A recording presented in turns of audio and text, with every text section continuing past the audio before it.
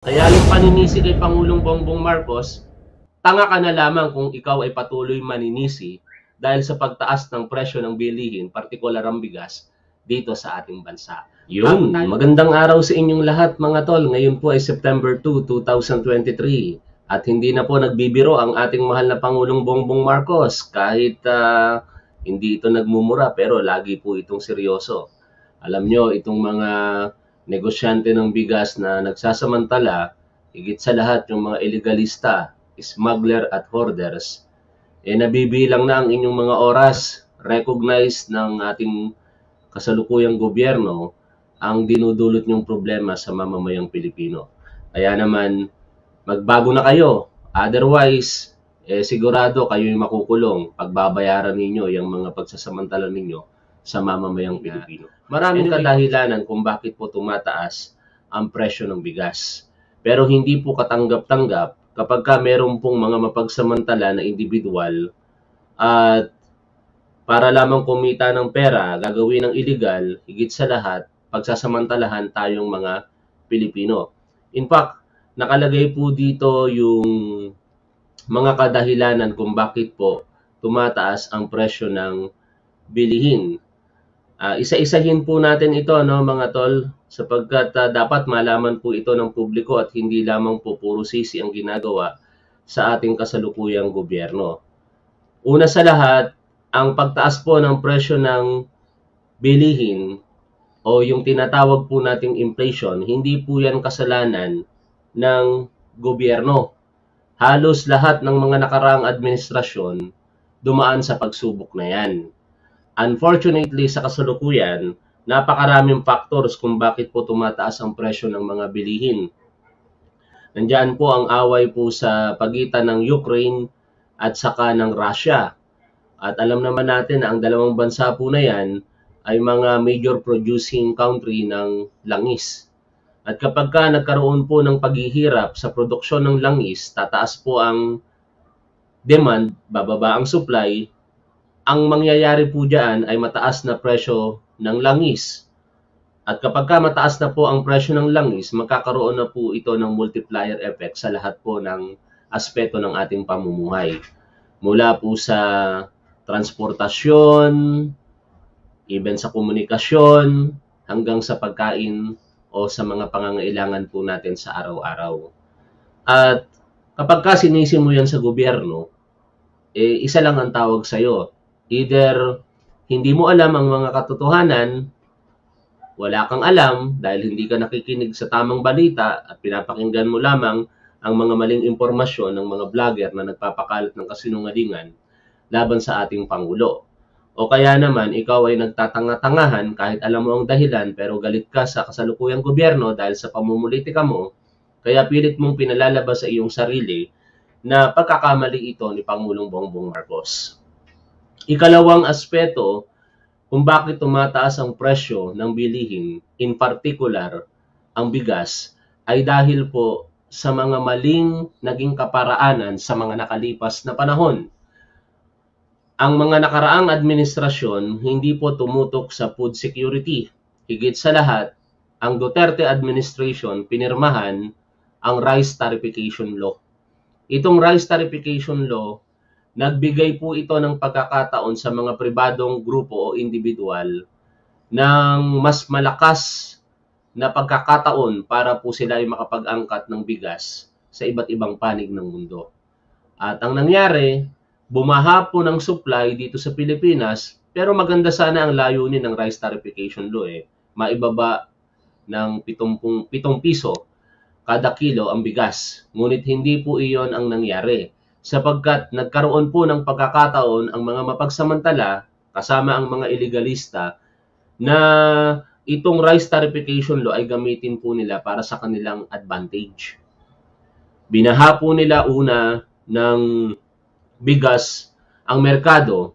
Kaya ang nangyari, initially medyo maganda ang naging presyo ng bigas, pero ito po ay nagresulta sa pagbagsak ng kabuhayan ng ating mga magsasaka. Kaya ang epekto sa ating mga magsasaka, tinamad na po silang magsaka at bumaba po ang produksyon ng ating bansa pagdating po sa bigas. Siyempre, bumaba na po ang produksyon dahil demotivated na ang ating mga magsasaka. Kinakailangan ngayong mag-angkat ng mag-angkat ng ating bansa para masustain yung pangangailangan po nating mga Pilipino sa bigas. Dito na ngayon pumasok ang mapagsamantala ng mga negosyante at mga illegalista na smuggler at hoarder. Yung pangangailangan po natin sa bigas, sinabayan po nila ito ng pagtatago ng bigas para mas mamanipulate pa po nila ang presyo nito sa merkado. Yan ang naging dulot ng rice tarification law.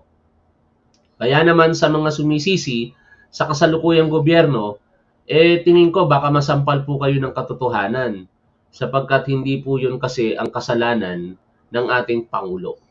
Ang Pangulo po natin gumagawa ng kaparaanan para maibsan ang problema na ito na kinakaharap po ng bawat Pilipino.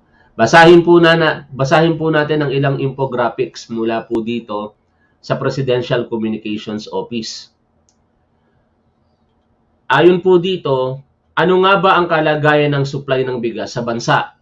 Kasi pinalalabas po ng mga kritiko ng kasalukuyang gobyerno, eh, walang ginagawa si Pangulong Bongbong Marcos kaya tumataas ng tumataas, partikular ang presyo ng bigas. Hindi po yun totoo. Unang-una sa lahat, ang supply po ng bigas sa bansa ay sapat. Sapat ang supply ng bigas sa bansa upang matugunan ang lokal na pangangailangan. In other words, kung sapat ang kung sapat ang supply ng bigas sa ating bansa, bakit mataas ang presyo ng bilihin sa merkado, ng bigas sa merkado? Yan ay dahil sa mga nag-iimbak o hoarding ng ilang mga mangangalakal. Ikalawang kadahilanan din yung kartel o sabuatan sa rice industry. At hindi mawawala po dyan yung mga conflict sa iba't ibang panig ng mundo. Global events, sa katulad po ng Russia at Ukraine, pagbabawal sa pag-export ng bigas na ipinatupad ng India at ang unstable na presyo ng langis sa pandaigdigang merkado.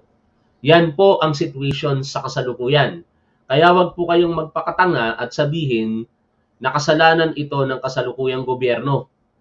Inuulit ko, kung patuloy niyong sinisisi si Pangulong Bongbong Marcos, eh masisisi, masisisi kinalaunan ang tatay ninyo. Dahil in the first place, siya ang merong authority para aprubahan o hindi aprubahan ang nagpapahirap na batas sa ating mga magsasaka. Ito yung rice tarification law. Pero minarapat ni dating Pangulong Duterte na pirmahan ito sa pag-aakala na tama yung kanyang economic team pero sablay sila. No other than dating Secretary Manny Piñol sa kanyang administrasyon, sinasabi na ang rice tarification law kinalaunan ay magpapahirap sa taong bayan at ganun nga po ang nangyari sa kasalukuyan. Tuloy po natin ang binabasa po nating infographics dito. Para po tugunan ang problema na ito sa bigas at dahil nga merong existing na batas, eh gumawa ng matalino at matapang na kaparaanan ng ating Pangulo. At ito po ang paglabas ng Executive Order number 39 kung saan si Pangulong Bongbong Marcos ay nagtakda ng partikular na halaga ng bigas na hindi dapat lampasan pa ng ating mga negosyante. Para ito, sa kalinawan din ng lahat, sa tinatawag na regular at well-milled rice. Hindi po kasama dito yung mga premium or special rice. Dalawa lamang ang tinakdaan ng ating gobyerno ng presyo. Ang regular at saka well-milled rice para po sa halagang 41 pesos at 45 pesos respectively. Basahin po natin muli ang infographics. Ano ang hakbang na gagawin ng pamahalaan upang maresolba ang pagtaas ng presyo ng bigas. Inirekomenda ng Department of Agriculture at Department of Trade and Industry ang pagpataw ng mandated price ceilings sa bigas sa buong bansa upang siguruhin na ang mga pangunahing pangangailangan ay hindi lamang sapat kundi may makatuwiran ding presyo na madaling maabot ng bawat Pilipino. Ano ang mga mandated price ceiling na ito? Para sa regular milled rice, 41 pesos per kilogram. At para naman sa well milled rice, 45 pesos per kilogram. Ang ibig sabihin, ang mga negosyante na nagbebenta po ng regular at well-milled rice, hindi dapat nila ilagpas sa presyong itinakda. At ano ba ang itinakdang presyo? O ano ba ang effectivity, effectivity ng batas na ito? Kailan po ito mag effective Ayon po sa another infographics, siyempre, kinakailangan pong munang maisabat, mai-publish ito sa official gazette or in a paper of general circulations.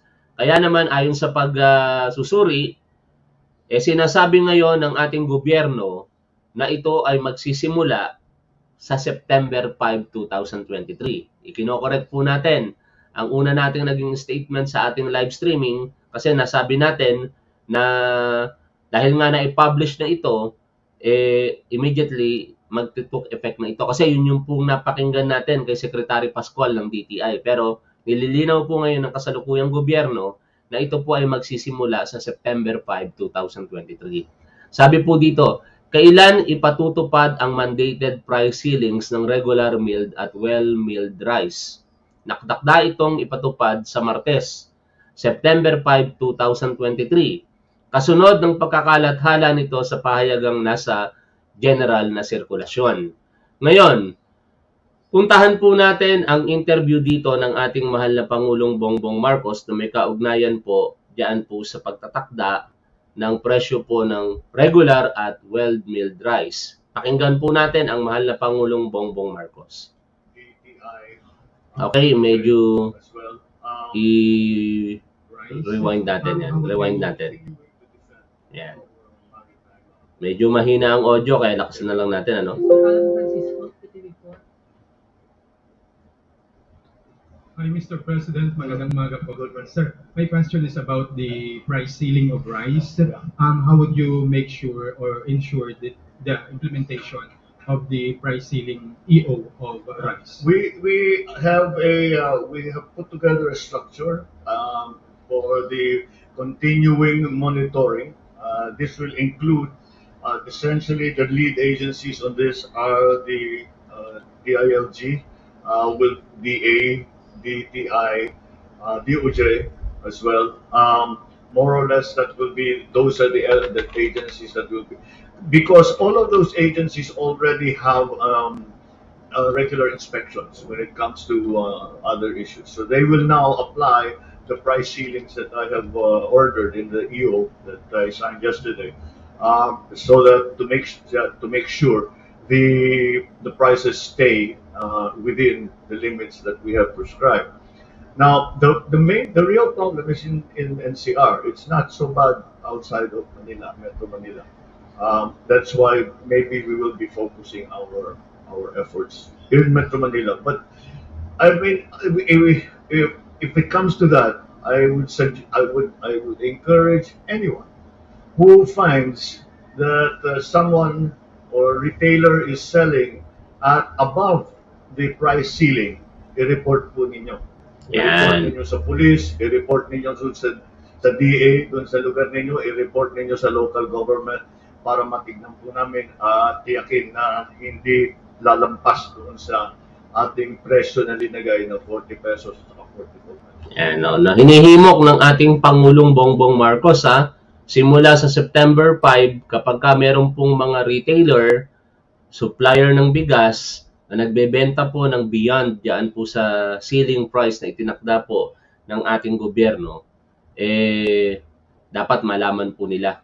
Nang sa ganon, masilip ng ating Pangulo o ng ating gobyerno kung nasa tamang kaparaanan pa ba ang kanilang ginagawa. Pero syempre, hindi po natin inaalis ang mga sirkumstansya na maaaring ang mga nagbebenta na ito ay una nang nakabili ng mas mataas na halaga Halimbawa, nabili po nila sa kanilang supplier ng 50 pesos yung well-milled rice, eh alangan namang ibenta po nila ito ng 55 ng 45 pesos, di malulugi naman po sila.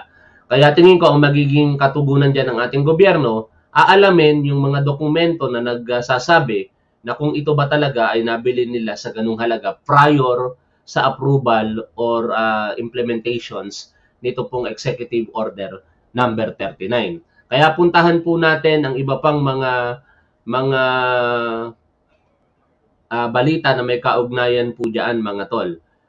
O, tingnan po natin yung balita sa Hataw Balita, ano? Ah, dito sa it, ito ang balita.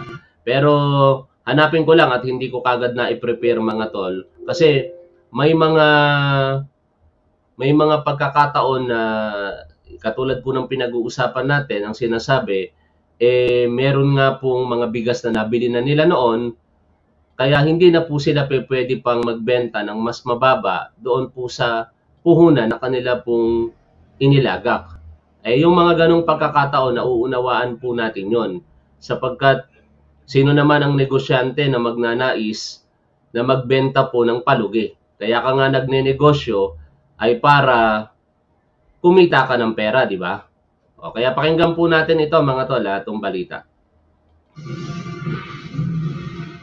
Titiyakin ng pamahalaan na maipatutupad ang itinakdang price cap sa presyo ng bigas. Ayon kay Pangulong Ferdinand Marcos Jr., may ibinigay ng direktiba sa mga ahensya ng gobyerno na pangunahing magpapatupad nito.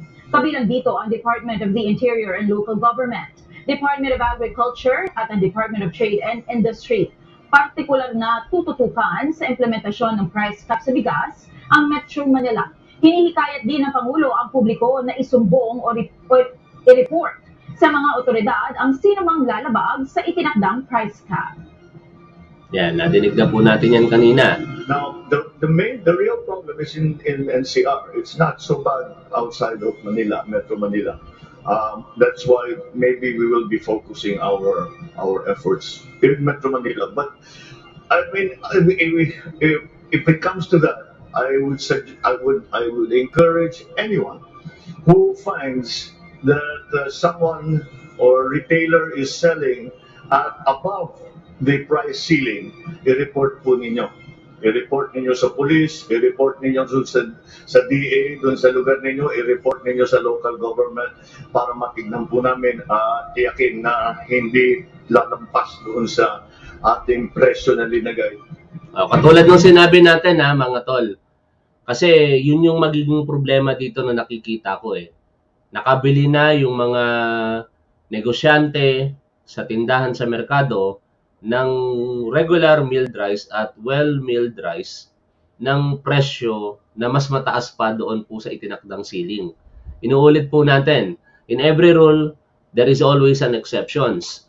Kapag ka mahalaga, makita natin, aba, mataas po yung presyo ng regular at well-milled rice nyo ah, sa itinakda ng Executive Order number 39, wag po natin kumprontahin yung negosyante. Ang gawin po natin, i-report po natin ito sa kinauukulan at bahala na po ang kinauukulan na inspeksyonin kung yung ginagawa po ba ng negosyante ay tama o mali. Kasi sa aking pananaw, kapag ka yung mga binibenta nila ay pinapaubos na lamang dahil nga po ang pagkakabili nila dito ay sa mas mataas na halaga pa, eh justifiable po yon. Mauunawaan po yon ng ating gobyerno and I believe dapat unawain din po natin dahil hindi naman pe pwedeng malugi itong mga negosyante. Pero dapat meron silang kaukulang mga dokumento na magsasabi na nung nabili nila yung regular at well-milled rice na yan, ay higit na mas mataas doon sa itinakda ng kasalukuyang executive order at dapat mapatunayan po nila ito. At saka pagka naubos na, babalik na sila doon sa pagsunod sa kasalukuyang pinatutupad ng ating gobyerno. Kasi ang ang epekto nito mga tol, dahil nga po meron ng ah, tinakdang ceiling ang ating gobyerno, eh yung mismong mga supplier, hindi na po sila pwedeng mag ah, mag-manipulate ng kanilang ng presyo ng bigas. Kasi yun po yung pinaka-factor eh. Minamanipula ng mga negosyante na ito ang presyo ng bigas for profiteering para mas malaki po ang kitain po nila. Okay, tuloy po natin ang balita na pinapanood po natin mga tol. Posibleng ikalugi umano ng mga nagtitig Oh, yan ng yung pinupunto natin ngayon. ng price cap ng pamahalaan. Ilang mamimili naman ang nagsabing malaking tulong sa kanila ang pagbaba ng presyo ng bigas dahil sa ipinatutupad na limitasyon sa presyo nito. Ito ang balita ni Bernadette Pinoy. Halimbawa, mamumuhunan ka po ng 50 ang kuha mo sa rice mill, tapos ibebenta mo dito 45, dilugi na po ng 5 pesos. Eh, paano pa? Ayan, understandable yan mga tol. Huwag kayong mag-alala mga negosyante ng bigas kasi hindi naman kayo pwedeng magbenta ng palugi. O, Pero dapat patunayan nyo lamang na talagang nabili nyo yung bigas na yon nung wala pang Executive Order number 39 sa mas malaking halaga kumpara doon sa sinet na ceiling price ng ating gobyerno. Otherwise, you have to obey the law. Kasi may kasabihan po tayo, hindi, hindi po ito kasabihan. Ang sinasabi po ng batas sa civil code, the law is harsh, but it is the law. Ano? Ma malupit ang batas, ika nga, pero kailangan mo sumunod dahil batas po ito. No, I do not know kung exact translation yung nagawa ko, pero ganun po yon. Provided po yan sa ating batas. Ah, bak paalala lang, hindi po ako abogado ha, kasi baka sabihin eh, nag-aabu-abugaduhan po tayo. Tayo po ay nakabasa lamang ng abogado at sineshare ko lang, ay ng, ng batas at sineshare ko lamang po sa inyo yung mga nababasa kong ilang batas. Tuloy po natin ang sinasabi po dito. Pong negosyo pag ganun. Walong taon nang nagtitinda ng bigas si Jennifer Thomas sa Nepacumar, Quezon City. Ang pangamba niya, ikalugi ng kanilang negosyo kung magiging 41 to 45 pesos na lang ang presyo ng well-milled at regular milled rice na itinitinda nila. Ilang nagtitinda din ng bigas ang nagsabing maaari nilang ibenta sa 41 to 45 pesos ang presyo ng well-milled at regular milled rice kung bababa rin ang pagbenta sa kanila ng mga supplier. Anila, marami rin kasing mga mamimili ang dumadayin sa kanila dahil sa patuloy na pagtaas ng presyo ng bigas. Overall mga tol, sa pinag-uusapan po natin ito, ang basic principle po dito is the greater good for the greater people. Kasi aanhin mo ang makakabuti para sa kakaunti kung at the expense naman ng mas nakakarami. Ngayon, kung ang babala nitong mga negosyante, eh, titigil na lamang po sila sa pagnenegosyo, medyo masakit pong katotohanan yon. Pero ako, hindi ako naniniwala na ganun ang mangyayari. Sapagkat kapag ka ikaw meron kang negosyo, hindi mo ito basta isusuko. Ang mahalaga, huwag kang malugi, kahit kumonti ka lang ng bahagya, sapat na. Kung maayos ang pag-iisip ng isang negosyante. Kaya dito dapat magtulungan po tayo. Kasi malinaw naman na talagang meron pong price manipulation, hoarding, even smuggling sa bigas. At ito po ang kadahilanan kung bakit po nagkakaganito ngayon ang presyo ng bigas sa merkado. Higit sa lahat, bagamat nasisisi ko ang nakaraang administrasyon, pero yun kasi ang katotohanan eh. Ang rice tarification law ang nagpapahirap sa ating mga magsasaka, kaya po nangyayari ngayon, kinukulang ang produksyon at namamanipula ang presyo po ng bigas. Hindi po ako ang nagsabi nito.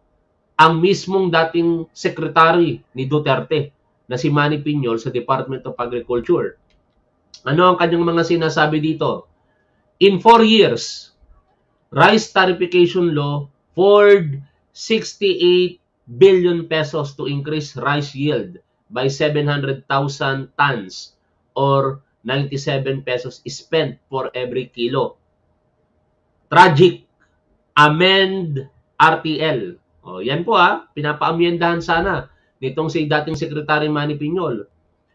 Sabi niya pa, 17 billion pesos rice tariff, 10 billion pesos equipment seeds, loans, trainings, 7 billion, 7 billion cash aid, 4 years yield increase only 700,000 metric tons. Tama ba? Oh, ito pa. Stop rice production subsidies and dole outs. Ships to market price support. Ito naman ay suggestion nitong si Manny Piñol. This will eliminate fake rice farmers. At ang pinakamaganda dito sa pahayag nitong si Manny Piñol ngayon, na nabasa ko, ay yung pagsuporta niya po dito sa Executive Order number 39. Ayon po sa post nitong si Manny Piñol kahapon, tinawag niya po itong political will ng ating Pangulong Bongbong Marcos. At para sa kanya, this is a bold move of PBBM. Katapangan po ito. Sets price caps for rice. President Ferdinand R. Marcos Jr. has taken a bold and decisive move to arrest runaway prices of the country's staple by setting ceilings on selling prices of rice in the market. In issuing Executive Order number 39 yesterday, August 31, President Marcos ordered the Philippine National Police and support agencies to enforce prices of 41 pesos per kilo milled rice respectively or per, per kilo to for regular milled rice and 45 pesos per kilo for well milled rice. These prices are 9 pesos and 15 pesos lower per kilo than the prices for regular regular and well milled rice respectively which were at 50 pesos to 60 pesos per kilo levels before Executive Order number 39. Kumbaga, Tagalogin ko para mas maunawaan po ninyo, ano? Bago magkaroon ng Executive Order number 39, ang halaga po ng well-milled rice ay nasa 60 pesos pataas at saka 50 pesos pataas. Sa madaling salita, ang pagkakaroon po ng price ceiling para po sa regular at well-milled rice ng 41 pesos at 45 pesos respectively ay nagbababa po ng siyam na piso at 15 piso respectively. Okay? Kaya ang laking tulong po noon sa ating mga kababayang Pilipino. Lalong-lalo na po sa ating mga pangkaraniwang mga manggagawa na sumasahod lamang po ng flat rate or minimum wage sa isang araw. Ituloy ko pa po, ang sinabi dito nitong si dating Secretary Manny Piñol, It was a move which I interpreted as a subtle repudiation of the controversial rice tarification law engineered by neoliberal economists led by former Finance Secretary Carlos Dominguez. Sino ba si Carlos Dominguez? Classmate po siya ng dating Pangulong Rodrigo Duterte na nagkumpinsi kay Duterte na pirmahan, aprubahan ang rice tarification law. Kaya kung merong mang dapat sisihin dito, ayon dito kay Manny Piñol, una, itong si Carlos Dominguez. Siyempre, nadadawit na rin dyan si Duterte dahil pinirmahan niya ang RTL. Tuloy natin. The RTL virtually gave the rice cartel the control of pricing and supply of the country's staple food. Bakit? Bakit nabigyan ng control ang mga kartel na ito? By the way, pag sinabing cartel, ito po ay agreement ng mga individual or group of individual para po kumita sila sa isang particular na undertaking. Halimbawa, sa pagbebenta ng bigas, meron silang agreement. O ganito ang gagawin natin para maging malaki ang kita po natin. Parang sa drugs din, 'di ba? May mga kartel. O ako ang magsusupply dito sa particular na lugar, ikaw diyan, wala tayong pakialaman pero dapat ganito ang presyo ng droga na binebenta po natin. 'Di ba nakakarinig kayo ng mga drug cartel? Parang ganun po 'yan. Basta cartel, it implies negative undertaking ng mga individual or group of individuals. O, tuloy po tayo. Sabi pa po dito, when world market rice prices soared following India's decision to ban rice exports kasi ito po ang isa sa pinaka masaklap na katotohanan eh. Nagdesisyon po ang India na hindi na po mag-export ng kanilang bigas. Kaya syempre, kung hindi na po nag-export ng bigas ang India, eh 40% po ang nawalang supply sa buong mundo. Kaya yung mga natitirang supplier, eh tataas ang demand sa kanila. Kapag ka mataas ang demand, alam naman natin ang mangyayari, tataas din po ang presyo nila. Ang epekto, kawawa tayong mga consumer. O, tuloy natin ha. Sabi pa dito, the rice cartel attempted to make a killing by raise rice prices by raising rice prices from 40 pesos per kilo to as high as 70 pesos for premium rice. Pero dahil magaling ang ating Pangulong Bongbong Marcos, eh, inisyo po ni PBBM ang Executive Order number 39 para Ayon nga kay Secretary Manny Piñol, I quote, to effectively stamp the devilish agenda of the rice cartel. Yan. Consumers will benefit greatly from President Marcos' action because they will pay at least 9 pesos to 15 pesos less per kilo price. Local farmers will be the long-term beneficiaries of the President's decision. Alam na alam ito ni Secretary Manny Piñol, eh, magsasaka po ito eh. Ayon sa kanya, eh, ang pangmatagalang makikinabang po dito ang ating mga magsasaka. While palay prices drop from 25 pesos per kilo, fresh to only 20 pesos this afternoon, this will prove to be just a shock reaction. Pansamantala lang daw po ito. At retail prices cap set by Executive Order number 39 and the very high prices of rice in the world market now, importers and traders, including the cartel, will not be bringing in imported rice. Kasi syempre, kapag ka medyo maayos na o maayos na ang produksyon ng ating mga magsasaka, eh mahihirapan na itong mga importer na ito na magdala pa ng mga imported rice dito sa atin dahil malulugi na sila. Yan o, sabi ni Secretary Manny Piñol, malulugi sila dahil mataas ang presyo ng imported rice at wala silang kikitain sa Vietnam rice. Their only option now would be to buy local, thus assuring farmers of a good farm gate price. Once again, inuulit po, sabi dito, nitong si Manny Piñol, government has taken full control of the rice industry even without amending the RTL. Napakagaling, di ba mga tol? Oh, ito si Secretary, dating Secretary Manny Piñol, hindi po ito kakampi sa politika.